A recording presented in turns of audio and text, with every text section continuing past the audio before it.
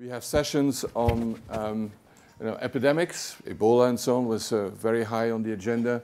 But now we have also, let's say, man-made uh, epidemic and an epidemic threat. And that's the, an epidemic of um, untreatable infections.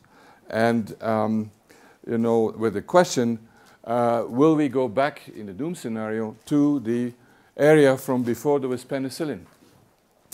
Um, and we'll hear from uh, uh, our experts here um, what the causes are, and particularly what we can do about it. And the good news is that there's real momentum building up um, in terms of uh, awareness, in terms of uh, action uh, at all fronts. Because this problem is extremely complex and uh, requires uh, multiple actors and multiple solutions in order to get it under control. Um, so we had also uh, an industry declaration that just came out uh, yesterday. So that's from the side of the pharmaceutical industry. We have the G7. It was on the, uh, the, the, summit in Germany was uh, uh, one of the, of the topics, and now we're here. Um, so uh, my, our panel um, is also represents the diversity of the issue. We have Andrew Witty, CEO of GSK, um, Minister Schippers from the Netherlands, Minister of Health, another Minister of Health from uh, Minister Gröhe, uh, as uh, you know, the Minister of Health of the G7, um, Jeremy Farrar from the um, Wellcome Trust Director, and Joan Liu from as President of MSF, Médecins Sans Frontières.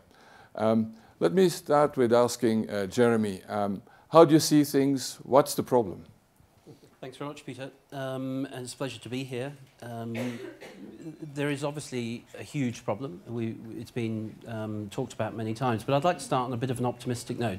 If you, we are not passive observers of history. If you identify an issue and then you work towards solutions, you can change the course of things. And I think we're at that tipping point now, where if we make the right choices, we can actually change the dynamic of what's happening. I think I'd like to frame it, we need to think of it infectious diseases, but we need to be aware that all of the progress that's being made in some of the non-communicable diseases, the major breakthroughs in cancer therapy, diabetes care, surgery, all of these are actually dependent on, on antibiotics. And so therefore, we cannot just frame this in the context of infectious diseases, and we cannot just frame this in the context of the lower middle income countries. This truly affects everybody, and I believe we're at that tipping point where if we act, we can have an optimistic scenario. If we fail to act, we could be into doomsday we portray this as a market failure, and I think sometimes a market failure is a bad use of terms.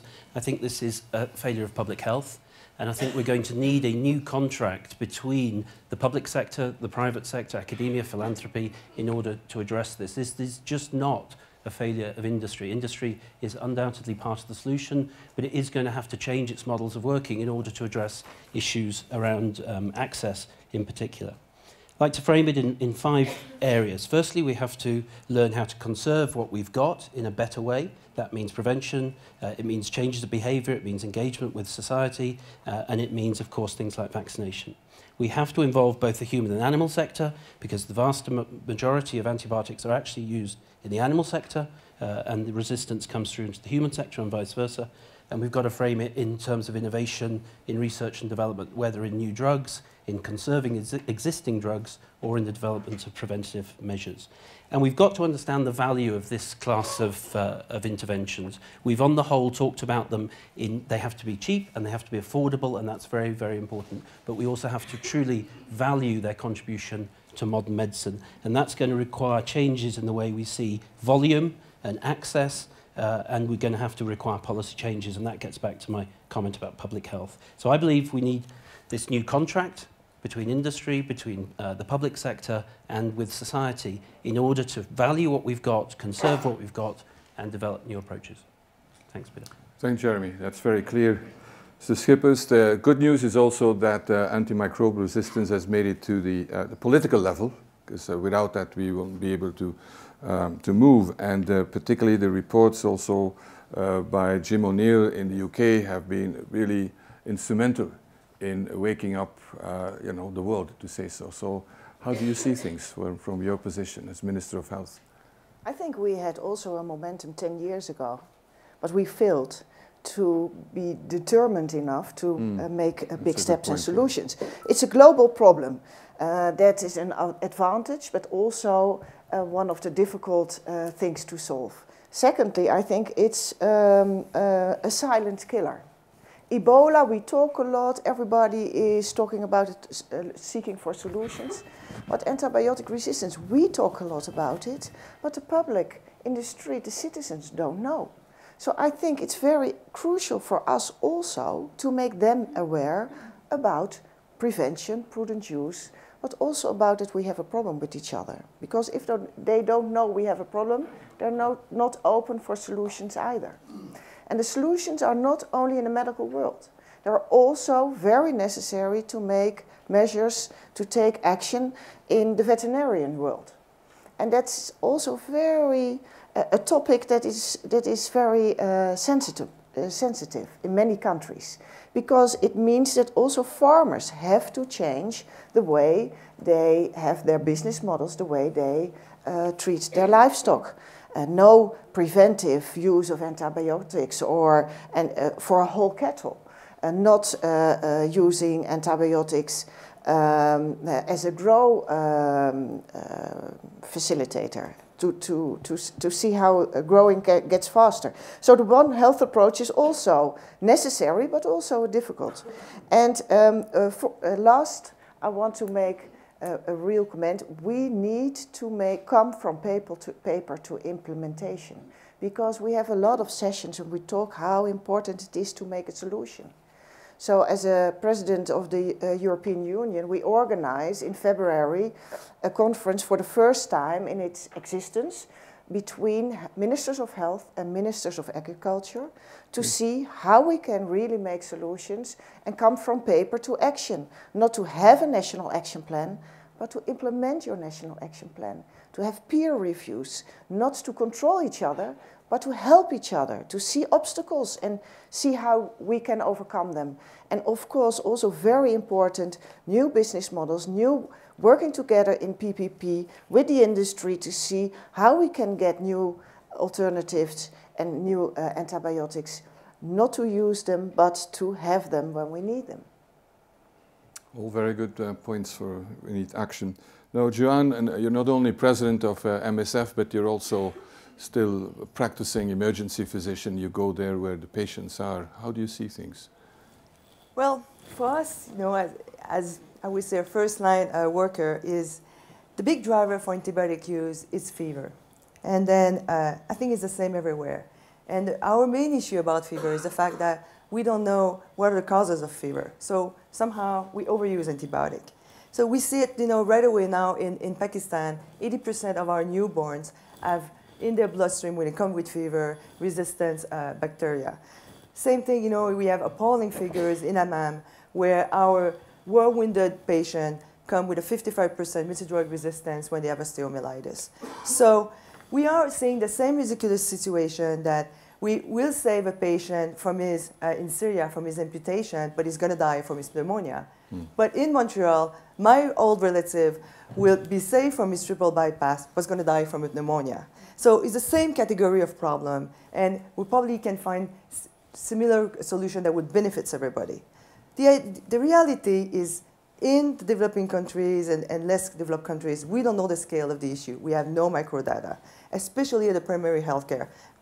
So what we see, you know, in our context of work, it's everything is magnified. Easy. Earthquake, slums, rural, remote area, it's, it's, it's crisis time. And so patient are either not immunized, they're malnourished. Remember the Mada- Madaya children? So when we see those patients, we have only one shot because they will not going to come. They won't come back. They won't cross another front line to come and see me. So by default, often we overuse antibiotic. So solution. I was thinking about that and say, there are solutions upstream and downstream. And there are like technical solution and political solution. On the technical side, upstream, is we, we have vaccine. We know that the pneumococcal vaccine, you know, if we are using it, will prevent lower respiratory tract infection. It just needs to be available uh, for all the countries. We need to do more infection control. We need to, uh, in our healthcare facilities, we need mini lab to be able to identify the bugs. But we all know that all we've talked about, it's so difficult to change behavior. It's so difficult. And then we've seen it, you know, with, with HIV, we've seen it with malaria. But what we have achieved from 2000 to 2015 is we decreased by 60% the mortality rate uh, in uh, malaria because we have the right new diagnostic test, mm. rapid diagnostic test, and the treatment. So we need new rapid diagnostic tests for fever that will differentiate you know, a viral illness from a bacterial illness, or at least will tell us the, which one are the severe bacterial infection. And this will allow to treat the patient who need antibiotic, and the one that, that doesn't need it won't get it. This would be the real game changer. And then downstream, we need new drugs, of course. So all those tools, if we find them, they're going to benefit everybody. Last point, it's about political solution. It's the global security agenda is driven by national self-interest. We've seen it in Ebola. We're still seeing it in the migrant refugee crisis, and we're still about the Middle East. But drug-resistant infection is not about security.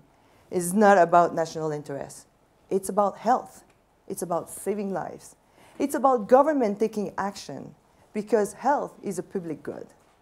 And we need, we, they need to provide. But the reality, we're working in failed state. And so we need the right trigger to work in those states. And our issue is we don't think that fear can be the driving force. We've seen in Ebola, we just cannot hack when nations feel threatened.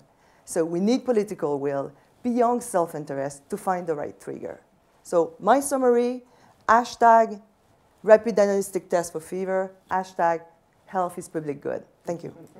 Thank you. That's the, uh, the modern way of addressing it. And also thanks for putting it in context, but also diagnostics. I mean, the creator is the Longitude Prize, which is, uh, you know, has uh, launched a prize for actually exactly that, to discover a, um, a rapid, uh, inexpensive diagnostic point of care, and that would uh, rationalize the use of antibiotics and thereby also limit the spread of uh, infectious, uh, in, in, resistant infections. Andrew, we had the, uh, the declaration of the industry, so companies are taking up the challenge, although after years there was not much investment in antibiotic development. So how well, maybe just um, highlight a couple of points. So, so the declaration that was published yesterday, I think it's pretty unprecedented actually. I think it's about 85 private industry companies, now biotech, large companies, mm. uh, many companies, some involved, some not directly involved in the space, all signing up to very much the kind of themes you've just heard, actually from all three of the previous commentators, um, in terms of uh, conservance, in terms of focusing on things like diagnostics, in terms, on, in terms of uh, thinking about how to develop the marketplace to be responsible, but at the same time incentivize. So that's all in there. I'd, I'd like to, I'm sure we'll come back to some of those. I'd just like to drive the focus a little bit, at least in these comments, on something which I think is a little bit taken for granted, which is that actually discovering new effective antibiotics is really difficult. Mm.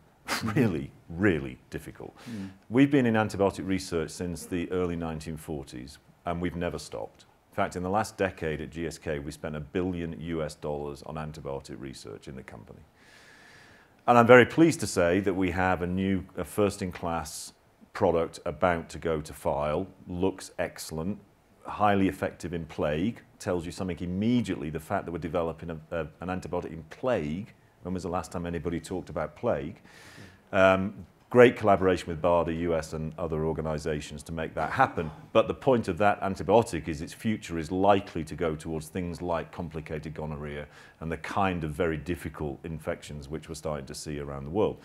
So we're there. Now, we did some work, we looked back over our history over the last nine or 10 years, and we were able to get, we worked with one or two other big pharmas, and we looked at three companies between the three companies, on average, over the period of nine or 10 years, we've done something like 60 or 70 high throughput screens in the antibiotic space to look for particularly gram-negative antibiotics. So about 200 HTS interventions. So HTS essentially is um, screening your molecular libraries. So in our case, that's probably 2 million chemical structures. Now you then say, okay, the other two companies, let's imagine they have broadly similar kind of volumes you're talking gigantic amounts of data to be trying to be exposed to look for starting points for products. Out of the 200 high throughput screens in three different companies over a period of nine years, there were precisely zero hits. Now, that's not because we're all completely stupid. It's because it's a really, really difficult space to make progress. So that the bit I'd like to just draw attention to is, first of all, just by writing checks out isn't going to solve anything. I honestly don't believe that. I think what this is really about, at the first point, and this obviously is what will give us some cause for optimism in 10, 15, 20 years, not tomorrow morning, we have got to drive some really strong basic science coming from academia, in research, in biotech, everywhere, in the normal way, if I can put it that way. We have got to drive a greater level of open innovation. We've managed to construct some very interesting semi-open relationships with Sanofi. I think Olivier is in the room where we've seen some great progress there with the two teams working together. We've seen a much broader open academic collaboration with multiple companies involved. What do we need to focus on? Gram negative. How to get drug load into patients without creating toxicity, because even when we do find a hit, the drug load is driving too much host toxicity and it kills the programs. How many times have you turned on the radio in the morning and heard a university professor claim they've discovered the first new class of antibiotics in 20 years? How many of those classes have been launched? And they all go down on drug tox because we're killing the host quicker than we're killing the bug. So that, that for me is a big space. So uh, something around academic industrial collaboration, how to energize, which bridges to the market incentivization. How do we turn on the biotech sector? How do we turn on that incredibly inventive layer of companies who bridge ideas out of universities? How do we get them excited in this space at a scale which really moves things forward? And then how do we get lessons learned so that we've got pre-competitive understanding on things like tox management, all of the things which are killing these drugs as they come through the system, just as we've done through things like IMI uh, and other programs in things like liver tox on traditional small molecule non-antibiotics. So that's a big focus for us. Vaccination is a huge opportunity. We, we, we think, I think Lancet published recently that effective PCV vaccination reduces subsequent antibiotic use by about half something like that. Huge impact. We're very committed to try and do our part to make that happen. The, the role of Gavi in the advanced market commitment, which, without which there would be no PCV vaccination of scale going on in the developing world, is an extraordinary example where the right intervention can absolutely drive the right behavior. It's not perfect, but it can really move things in the right direction. I don't know if that's what we need to do in antibiotics, probably not, but we should be inspired by the idea that we did something in a field, it worked, we should, we should scratch our heads to come up with what the version of that is in this space. Yeah, so also um, innovation is really going to be important, but also I think we, we may have to look at what's all, still on the shelf and what we don't use, uh, combination therapy, and then and then your point about vaccines, I mean, someone who doesn't get, a child doesn't develop pneumonia, this we see, this is a pneumonia, a vaccine against uh, uh, pneumococcal pneumonia, doesn't need antibiotics. Yeah. So it's, it's like contraception saves mothers, uh, reduces maternal mortality. Just, just, just, to, just to your point about on the shelf, I think I'm right in saying that the PD-1 inhibitors, which are creating the most extraordinary yeah. excitement in immuno-oncology, yes. have been on the shelf a while. Yeah, yeah. Took as molecules. Right. Took us a, took a while to figure out their role. But it, you know, that is what we need. And we've seen it in TB, actually. I think in TB, where mm. almost nothing happened really, really, really for 20 or 30 years, as there's been a mobilization of, frankly, you know, the uh, Bill, and, Bill and Melinda Gates Foundation, Wellcome, the Tres Cantos operation that we run, all of the various, uh, that opening up of thinking and that plurality of innovation, we're now starting to see some real yeah. prospects yeah. of something in tuberculosis, yeah. tuberculosis and malaria also. So I think, I think there are good reasons to be inspired. The question now is, as Edith said, how do we connect the words and the aspiration on antibiotics to some of the models which we know work and how do we just shape those a bit and then start industrializing it and making something happen. Right. Go to scale. So Minister Gröhe, Germany has been really uh, in a strong leadership position on this. Uh, can you tell a bit about what you're doing, the plans and the action that uh, your colleague from yes, the Netherlands you. calls? Thank you so much. First of all, I would agree with you, Peter, that we have a momentum. In Germany, people were surprised that the G7 summit of the heads of state and government addressed an issue like AMR. And suddenly it was not only an expert issue, but it was in public debate for a while. And I hope that by the work that is done now by the Dutch presidency and the European Union, as a, it's not just a firework, but it's continuing to be an issue that is uh, to be addressed uh, strictly. Edith mentioned uh, correctly uh, the work of a silent killer. It's not like an earthquake everybody can see. It's similar maybe to climate change that you are slipping in a catastrophe without seeing in that direct way, like a volcano or an earthquake, that's dramatic things are happening. I would divide the things we are debating now and those where it's a question of political will, of preparedness to change behavior, Jan mentioned. I would uh, describe the whole area of prudent use, One Health approach, um, um, good stewardship, mostly being a question of political will. We know about hygiene, about um, um, diminishing misuse, One Health approach. These things are thought through in a way, but they need to be implemented. And uh, that is that area where we have a lot of things to do. Of course, also new invention where we talk about fast speed diagnosis to help prudent use. There is also need of new intellectual work, but I would say mainly to say it's needed to have one health approach. It's a question of political will. When it comes to the point Andrew Witty uh, mentioned, a lot of intellectual work is still in front of us. I think uh, the market failure, Jeremy Farrar um, mentioned that we asked Andrew Witty and his team invest a lot. If you have something to fight superbugs, please sell it carefully. Uh, that's not an easy business model, of course. So the way how to de-link uh, the profitability and the quantity of sales is an intellectual challenge for a market economy, for using market powers for innovative uh, activities. And so we have to uh, debate these models. There are some on the table.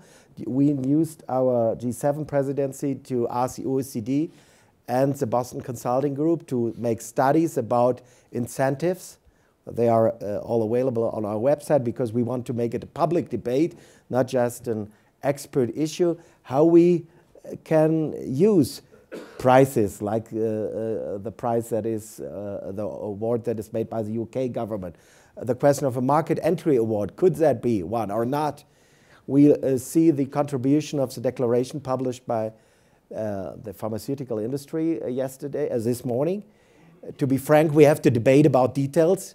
Some of it is a commitment, thank you. Some of it is a request. We have to debate that. And we when we debate about fair risk sharing, for example, you're talking a lot about predictable market conditions.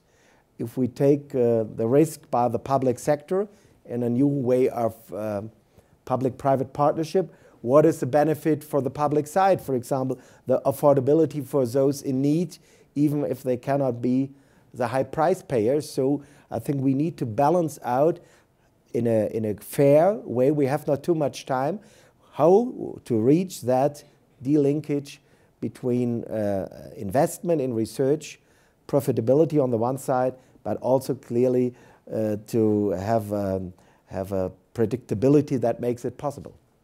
Thank you very much, Herman, to, to really to highlight these um, very practical, quote unquote, details, but that's what will make or break the, the whole you know, the, the, the new uh, innovation that we, that we need. And, and Jim O'Neill's report has some very practical proposals, but again, have to be worked out, and there has to be um, not only consensus, but agreement uh, about that.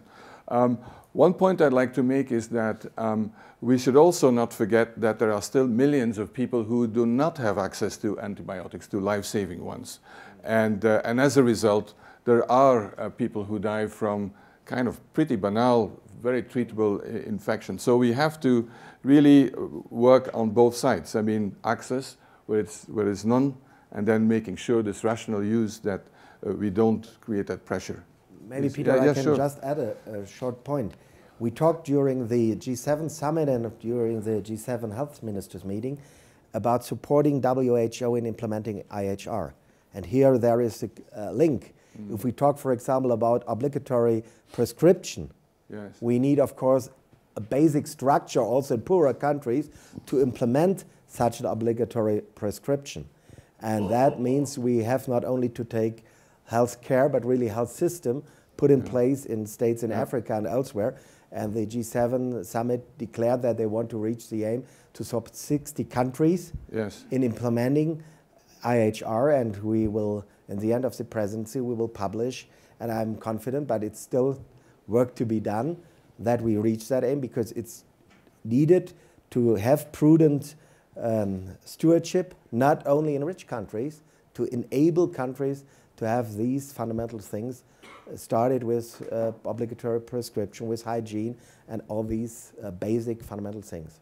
Absolutely, and I said it, said it is a, a global issue, and, and I'd like to support what Joanne said, and that is that uh, you know this is not only about global health security, and these initiatives, if one can link um, epidemic preparedness, and tomorrow there will be a, a big session on that, mm -hmm. With um, surveillance and action on antimicrobial resistance, I think that's a very rational yes. use of, of resources. If these things are going to be handled in, in parallel, there's going to be a waste uh, of resources. So, okay, the floor is open for discussion. We, there's a lot to discuss, and please identify yourself and, uh, and limit your intervention also to uh, very well, one minute. Okay. Yes, Francis. Please, you, sir, you have the behind, yeah, first and then Francis. My name is uh, Stefan Tanda. I'm a board member of Royal DSM. Uh, we've been producing antibiotics for 70 years, proudly um, and in a very clean biotechnology manner. Very much welcome uh, the O'Neill report. Thank you for uh, supporting that. And uh, the one additional comment I wanted to make is I uh, missed in all your discussion one of the points that the O'Neill report highlighted, which is there's a third major source of antimicrobial uh, resistance next to human overuse and animal use. It is heavy pollution in the manufacturing of antibiotics, mm. particularly in the developing world. Uh, if you YouTube polluting to heal, polluting to heal, a documentary made by an investment management company, Nordea. Um, I don't need to describe anything else. And I think you need that third pillar in your efforts, and I would ask the Minister Schippers uh, in, the, in the February event to add that third pillar to address this issue. We are fully behind you. Uh, we offer tests. We uh, discourage all use in animals. We offer alternatives to antibiotics. We need to get at that, but we need to get it with all three pillars. And to be honest, the polluting is a major pillar. We source many products from uh, those countries, uh, not for medical use, but other uses, and often e there are trace amounts of antibiotics because it's everywhere in the water uh, from those pollutions. Thank you. Thank you. Very good point. Francis Collins, please. Hi, Francis Collins, Director of the National Institutes of Health in the U.S. Uh, certainly welcome the momentum that we see represented by this group here gathered this morning about a problem which, as has been said, has been with us for a while, but we haven't really pulled all the resources together in the way that we need to. From NIH's perspective, uh, we're fortunate that in the recent budget uh, we were granted an extra $100 million to work specifically on antimicrobial resistance and look forward to working in partnership with all of you in that regard. I really welcome the comments uh, from Andrew Witty about the opportunity for additional open innovation partnerships about discovery. There are some interesting things happening there, uh, such as the use of uh, chips to discover soil microbes that are making natural products, uh, which we didn't know about before, like teixobactin. Mm-hmm. Yeah. We have methods uh, for doing toxicity testing that are perhaps more rapid uh, than what we've had in the past, and I certainly recognize the need for that if we're going to be able to identify compounds that are actually useful for human use. Uh, we also, uh, as the UK, uh, have put out a prize uh, for rapid ability to detect resistance, particularly from gram-negative rods, uh, so that in the clinical setting one knows when you're dealing with a highly resistant organism. One pitch, though, I'd like to make is for databases. The more that we can collect genomic information, which is not that complicated or expensive anymore, on resistant organisms to develop a national, international database of what's out there, the more rapidly we'll be able to understand the epidemiology uh, of how these particular organisms are spreading and how their resistance is encoded. And uh, presently, that still hasn't quite come together that way that it might. Finally, I might say clinical trials remain a challenge because you would like to have ready to go uh, examples of people who are infected with highly resistant organisms, whether it's pneumonia or urinary tract infection or septicemia, so that when a drug is ready for testing, you don't have to try to line up those individuals, which is very complicated and difficult to do. And I don't think that's a solved problem, but we're certainly interested in international collaboration around that space as well. Yeah. Thanks, Francis. All very practical um, options, and, and, congratulations on the budget for NIH in general. uh, hallelujah. Um, uh, Seth uh, Berkley, please. Th thank you, Peter. And I just want to build on some of the comments that Andrew and others made. Um, it's interesting you talked about the pneumococcal vaccine. Um, uh, pneumococcal resistance began in South Africa. It was interesting as they rolled out the seven valent pneumococcal vaccine we saw a drop, obviously, in pneumococcal disease, but we also saw the pressure from antibiotics going away, and we saw resistance disappearing. As they moved to a higher valent vaccine, we saw the drop again. But the other point you didn't make, which I think is really important, is that if you get rid of the disease in the children, the elderly then don't get infected. And of course, that's the problem. This was the old man's friend always. And so, you know, we've rolled out the vaccine in 54 countries now. We're trying to do the same thing with rotavirus vaccine, which is also obviously in diarrhea, overuse of antibiotics. So I think as we think about not only antibiotics, we have to think about creating new vaccines, which there'll be some sessions here as well, but then what are the mechanisms to make sure that these are made rapidly available? And the AMC was interesting because within one year of the new pneumococcal vaccines coming out, they were rolled out in the developing world, unprecedented. All good point and illustrating we need more than just new antibiotics. Yes, yes please. Do we have two uh, requests here on the front?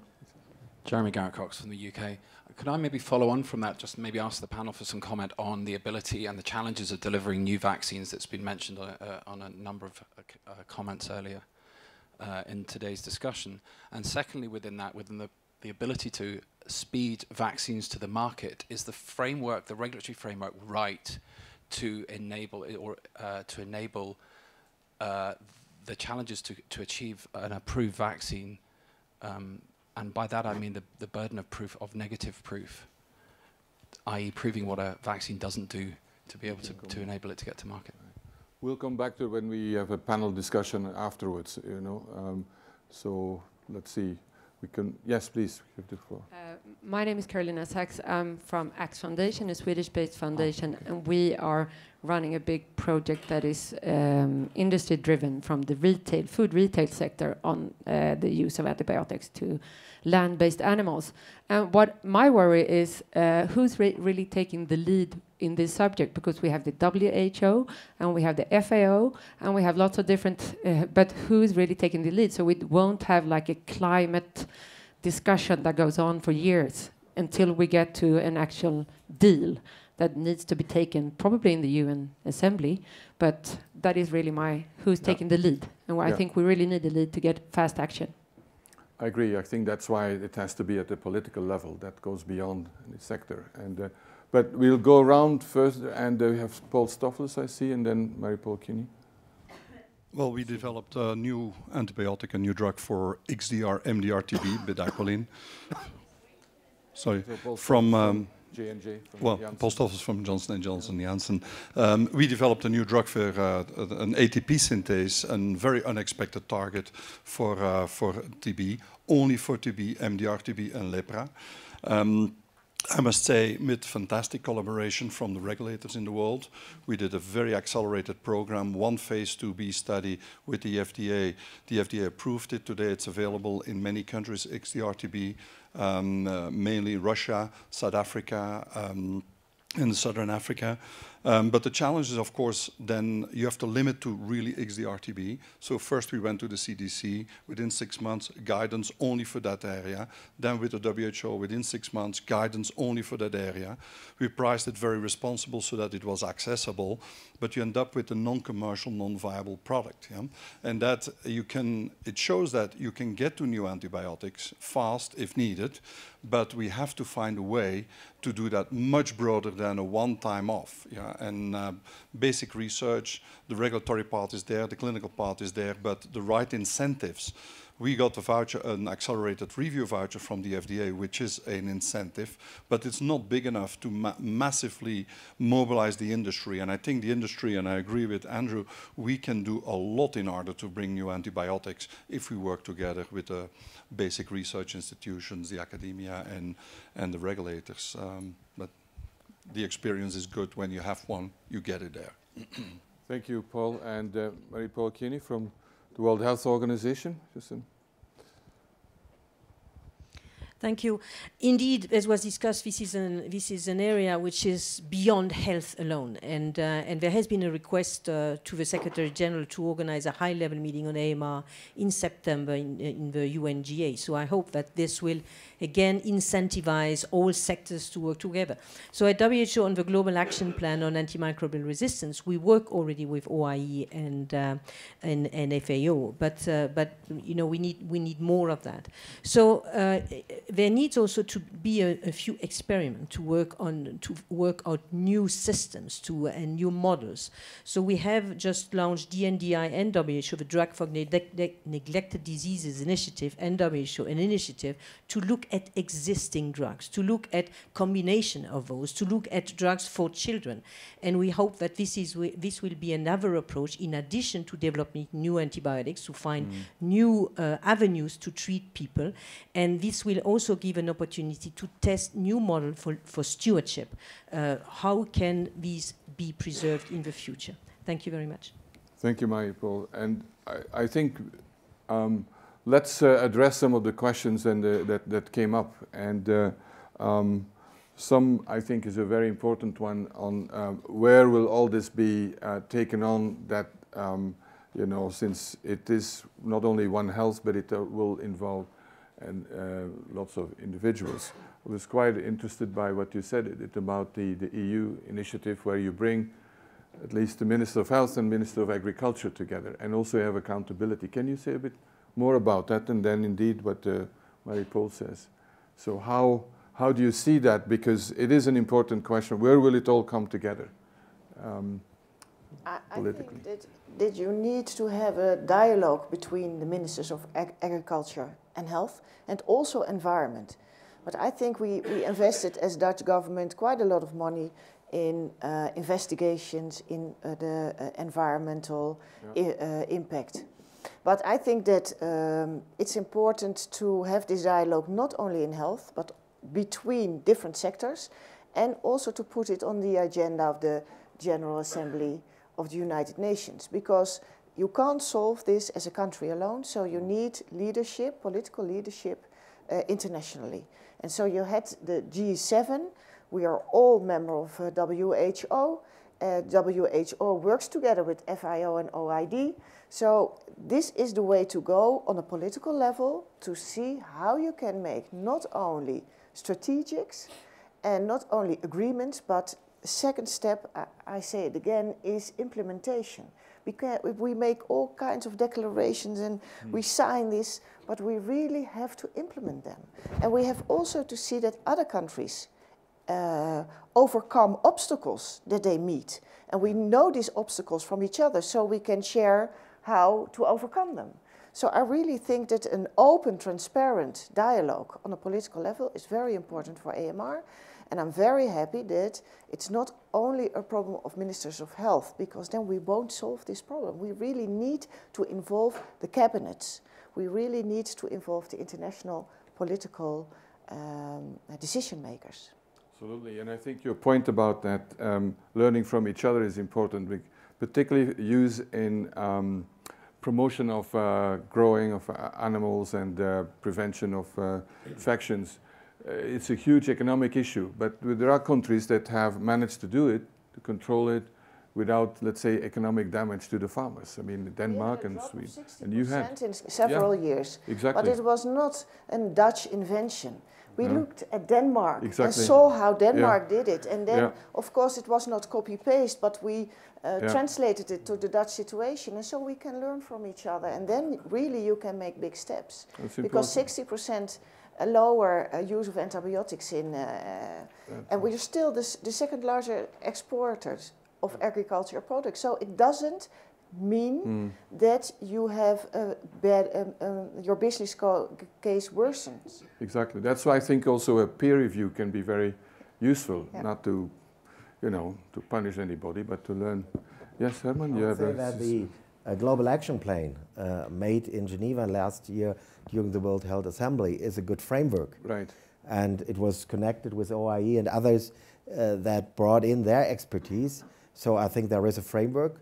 But during it was during this World Health Assembly that we launched with some colleagues this initiative to the UN General Secretary to make that high-level meeting also at the General uh, Assembly because we believe that it should be on that level also to be visible for all sectors.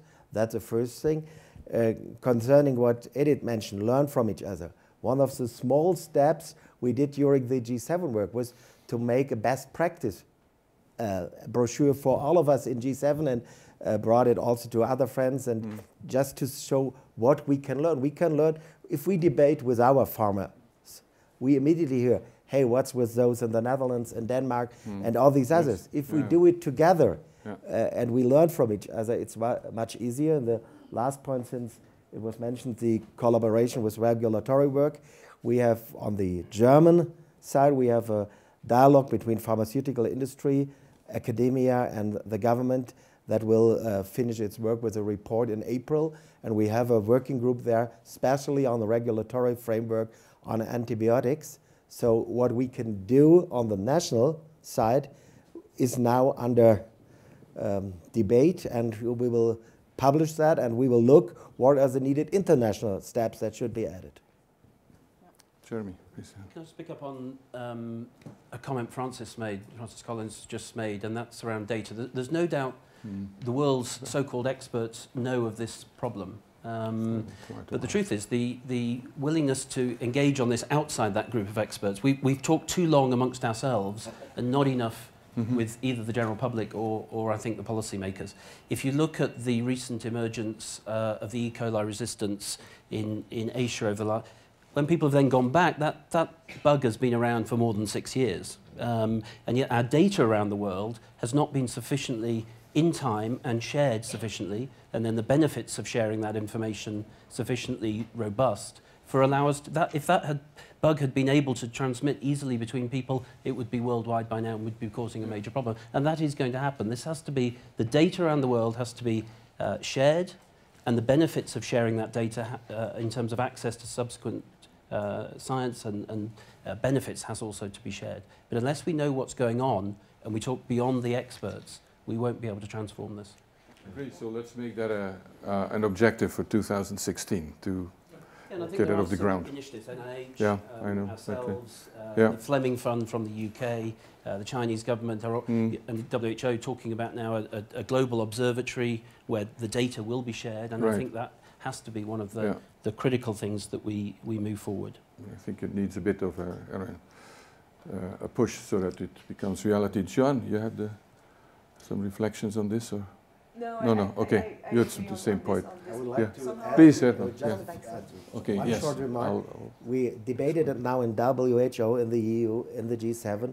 Since in 2017 there is the G20 presidency in Germany. So far, G20 uh, was not a, a debate on healthcare issues. In general, and if we see yeah. that, we see there uh, the uh, huge developing countries with great agricultural sectors. It's, it's, it's really a needed oh, yes. platform for yeah. combined things of the industrialized and the mm. developing countries, mm. the huge agricultural states. So I hope that uh, these G20 can also used to be an instrument for that. I think it's absolutely crucial, and it's only I think last year or so in, in Australia was the first time first health time was there because of Ebola. But so let's make Ebola the game changer for that because it yeah. has to be on.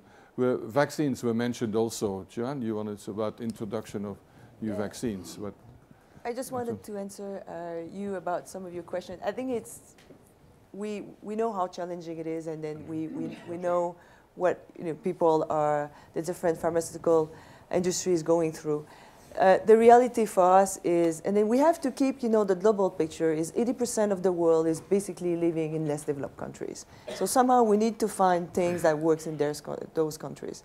And so um, And, and acknowledging all the difficulty, my still pitch on that is the fact that vaccines need to be adapted to some part of the world. And then so be, need to be adapted to the strain of where it is. It's not the same everywhere. The strains in Africa is not the same uh, that in Asia or in the north in the in northern hemisphere. And the, the other thing is it's, it, it, needs, to, it needs to be uh, as well um, uh, thermostable because this is our challenge in Africa. And so one of the thing is, is we, we have to go, and I know there's the, the usual suspect who develop things, but what we've realized, there's other industry that are able to develop. And then, and it's in, in Asia, India, and, and, and China, just to take a few examples. And then MSF, you know, for rotavirus, for example, we developed something that is, that is strains adapted to Africa, that is thermostable, and then hopefully, you know, we'll, we'll, we'll go through the pre-qualification.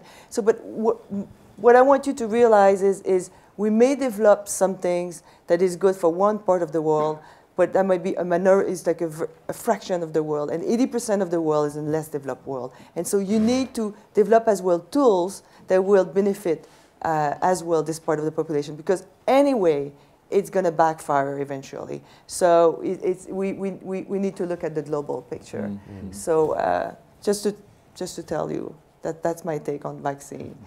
Yeah. There's another dimension there, and that's uh, public trust, believes and so on. And that's in, uh, in, in high-income countries, particularly. We have measles epidemics in Europe. we had one in Disneyland, so that uh, got a lot of attention. Um, in Berlin. There's, yes, there, is the, there are children dying today in Europe from vaccine-preventable uh, infections. There's zero excuse for that. It's a and, uh, but it's because of a lack of trust in and confidence in lots of things, science I, I see so that in my ER all the time, having to convince my pa parents to, to vaccinate their children. You see. And, and yeah. I, I just want to make one point, you know, Seth is gone for Gavi. I just want, because MSF has been portrayed that, you know, we don't like the idea of Gavi and all that, you know, actually, we love Gavi to a certain extent. the, the thing is, we just want to expand it to other countries that are in crisis, and not only the low-income countries, yeah. but today, you know, we are facing the reality that in the Middle East, we're going to be with a crisis that's probably going to last for a decade. And then these are middle-income countries, and they need to have access yeah. to vaccine at cheap price. That's it. That's, yeah. that's, that's, we, we want Syrian little children to have access to vaccine as well. It's not only important for the Middle East, but for the surrounding countries also, I, sh I should say. And coming back to my point, public trust, is this example of uh, human papillomavirus vaccine. It's a vaccine that yes. prevents cancer. In Japan today, the coverage is below 1%. It collapsed because of rumors, because mm. people think this causes I don't know what in yeah. uh, mm. girls and so on, besides then the whole paranoia side. Why is polio still not uh, eliminated? It, it's not a technical issue, it's because of war and of you know, trust and polio workers being killed. So I think it's again an, an area that you cannot address just uh, in a technical fashion. Yeah. Now, we, yes, we, uh, we have I, I didn't know MSF and Gavi yes. didn't like each other, or, but it sounds as if you've fallen back in love together, which is great news. Uh, but, but I think we, we sometimes... Don't go that too far. we sometimes become cynical about the ability of global organizations to pull things together in the modern world, but just a, a, very strong push for keeping the idealism that came out of the Second World War. Those global organizations may not be functioning as well as they could, but they still are a critical player to bring everybody together and make sure this is not just addressed through the narrow prism of national security, but this is yeah. addressed through the prism of global health. And I, and I think we have to keep a sight of that idealism yeah. that came out of the Second World War. Uh, these organizations are needed more than ever, in fact, to bring us all together. I and think Gavi is a very good example yeah. of that.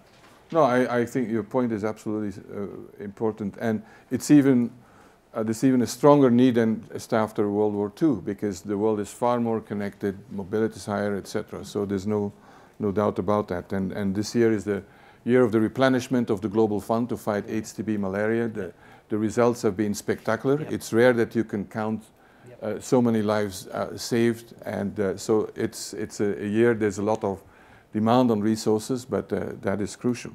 Um, we have about five minutes. Uh, can I ask uh, each of the my fellow panel members to what is your thought? What uh, what you, would you like to see uh, happening, action, uh, this year, in uh, in terms to move the agenda? We're not going to solve this in one year, But what could we do this year? Who would like to start with that?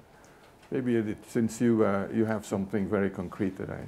I think that we uh, um, uh, have to be uh, aware that we don't make the same mistake as we did, mm. uh, fault as we did 10 years ago. So mm. be determined to really make steps. And it's very important to um, work together and to allow, for example, peer reviews, not only between European countries, because in the global health security agenda, we also have peer reviews. We also have that you sign up to help other countries to make their systems uh, more robust, robust and uh, uh, efficient and uh, to, to, help them to prevent uh, for antibiotic resistance. So I really think that we have a lot of actions and a lot of paper, but I keep mm. repeating, come from paper to implementation. That is really, mm. I think, the core business for the coming year. Yeah, great. I would say last year uh, the Ebola crisis as a wake-up call made public he uh, uh, global health a global issue. We have to prove this year that this is not a one-year firework, right. and that if we talk now about terrorism, about refugees, and all these things, and some of them had much more common ground with these global health issues than people think about, that we prove this year, for example, by taking our promises during the World Health Assembly that every state should have a national plan to go that way. Mm. And uh, this year is crucial to make it really a process. So it is going to be a crucial year. Jeremy? I think my worry at the moment is that this space is too fragmented. We've got the human sector, we've got the animal sector, we've got industry, mm. academia, philanthropy, mm. etc. I, I think if we're going to truly change this, and it has to be at a global level, we've got to rise it above microbiologists, infectious disease people like myself, and to a different level yeah. within the political discussion, yeah. so that this is actually something owned yes, at the level that climate change is owned at, at the political level. And if we don't do that, we won't get the changes in regulation, we won't get the changes of the human animal sector, we won't get the incentives for industry, and we won't get the uh, control of use, but also access. So I'd like to see it raised above uh, the level of experts to a higher political level yeah. and owned somewhere with accountability. Yeah, very good. Yeah, Siobhan? Well, you told me that I have to use sleep sentence, but uh, I know if I had to use buzzword I, for me for this year, would be innovation for access. Is whatever we're going to do mm. needs to be accessible, and it hmm. needs to be accessible for everybody. But of course, you know, Jeremy said, you know, idealisms, and MSF we're full of idealism. But if we were not there, that would be a tough word. So the thing is, is, is, is I'm dreaming, and I'm asking again for that rapid diagnostic test because I think it's going to make a difference in the, the, the the less developed country, but it would make a difference in my ER in Montreal. And so I made that because I think it's a big driver. And then I really do think that we need to agree on the trigger, to how to help fail state when they all look facing a health emergency, and, and that we don't have to do that while it's happening. So we need to agree before that what would be the trigger to come and help, and not just to pass the buck, you know, like we're doing right now with the migrants. We need a different model. And then last, I would just say that, and I agree somehow with, with Jeremy when he talks about to portray it as a market failure. Actually, there's not really a market failure per se with antibiotic because if we get the right antibiotic, people would purchase it. It's, it's, it, it's, it's, it's, a, it's about, uh, for me, it's not more of, of, of the same in that respect is the fact that the, the, the, it's, it's, it's, it's all the model of, of, of the market. That's what we need to fix but it, it's not a market failure per se. People, if we get the right antibiotic, people's going to buy it. Mm. Huge demand and need. Andrew, last word. Uh, two or three things. I think member states need to keep the voice that they've discovered since Ebola and since Germany's lead on the AMR agenda. I think that makes the multilateral agencies way more powerful. Multilateral agencies can only go where the member states wants it to go and I think we've seen a lot of benefit from that. But I really hope this doesn't just recede into yesterday's story and we move on to the next thing, yes, because right. I think member states are really pivotal within this, uh, absolutely crucially. Um, you've got to start making some decisions. I mean, just we're going to go to a vaccine session right now. I'm going to talk about a proposal on biopreparedness, which we proposed a year ago, we could have had three or four vaccine research programs into rare disease commissioned by now, but nobody's made any decisions whether or not we should go forward or not. Now, it may be a terrible idea, in which case tell us it's a terrible idea and we'll stop talking about it, or tell us it's a good idea and let's do it. But I think we, we are, we're in a mode at the moment where we're all saying this is super important.